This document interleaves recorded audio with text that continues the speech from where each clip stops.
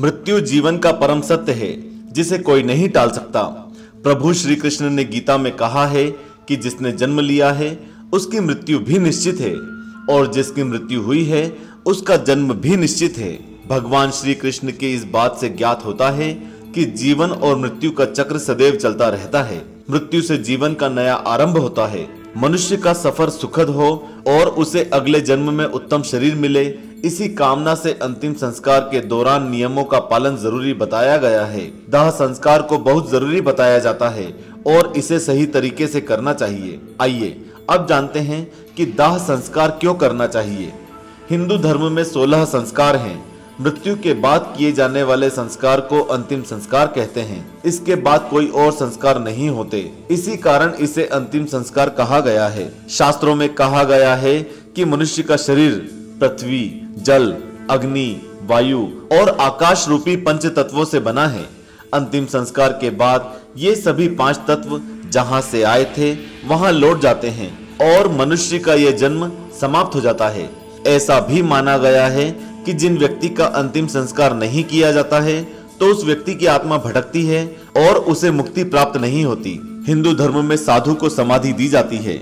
ऐसा इसलिए किया जाता है क्योंकि साधु के द्वारा ध्यान और साधना किए जाते हैं, जिससे वे शरीर में एक विशेष ऊर्जा लिए हुए होते हैं। इसलिए ऐसा करके उनकी शारीरिक ऊर्जा को प्राकृतिक रूप से प्रकृति में समाहित होने दिया जाता है। हिंदू धर्म में मृत शरीर को सूर्यास्त से पहले दाह संस्कार करने का नियम है। आम व्यक्ति का दाह संस्कार इसलिए किया जाता है ताकि यदि उसके अपने शरीर के प्रति मोह बची हो तो वह छूट जाए।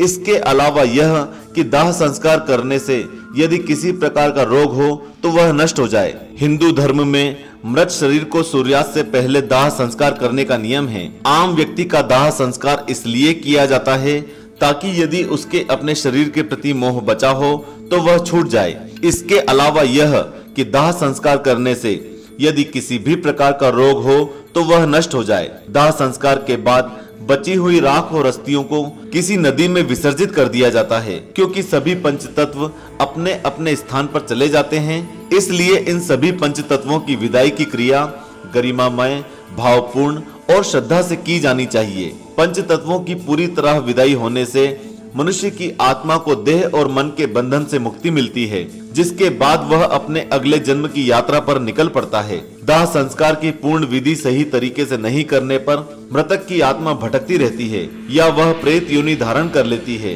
इसलिए उचित वैदिक तरीके से अर्थी शव यात्रा दाह और श्राद्ध के नियमों का पालन करना आवश्यक है। दाह के बाद मृतक की अस्थियाँ जमा की जाती हैं और उसे किसी पवित्र नदी में आमतौर पर गंगा में विसर्जित किया जाता है। इसके बाद तेरह दिनों तक श्राद्ध कर्म किया जाता है। बाद में गया में जाकर पिंडदान की प्रक्रिया पूरी करते हैं। इससे आत्मा को शांति प्राप्त होती है। सूर्यास्त के बाद अंतिम संस्कार। हिंदू धर्म में शास्त्रों के अनुसार सूर्यास्त के बाद शरीर का अंतिम संस्कार नहीं किया जाता है। यदि किसी व्यक्ति की मृत्यु शाम को या रात को होती है तो उसका दाह संस्कार अगले दिन किया जाता है।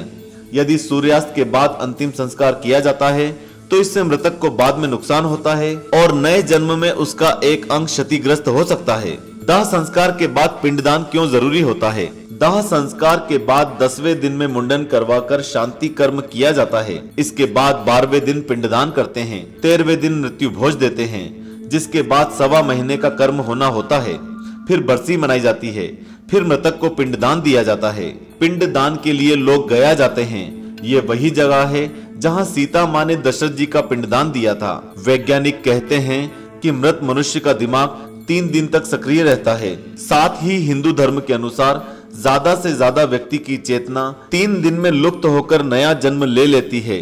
और यदि कोई बहुत ही स्मृतिवान है तो वह तेरह दिन में दूसरा जन्म ले लेता है। यदि कोई और भी ज़्यादा स्मृतिवान हो तो वर्ष भर लग जाता है।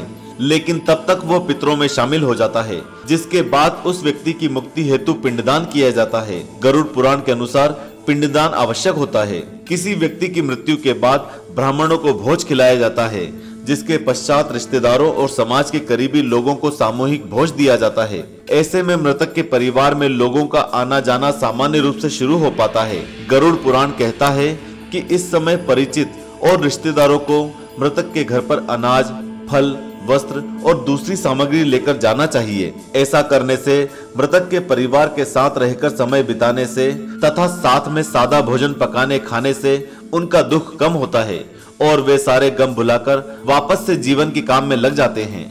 अभी तक बताई गई बातों से पता लगता है कि दाह संस्कार बहुत ज़रूरी है और इसे उचित तरीके से अवश्य करना चाहिए। तभी जीव को अगले जन्म लेने में कोई कष्ट नहीं होगा। गरुड़ पुराण की ये सभी बातें हमें बहुत ही सीख देती है। ओम नमः शिवाय।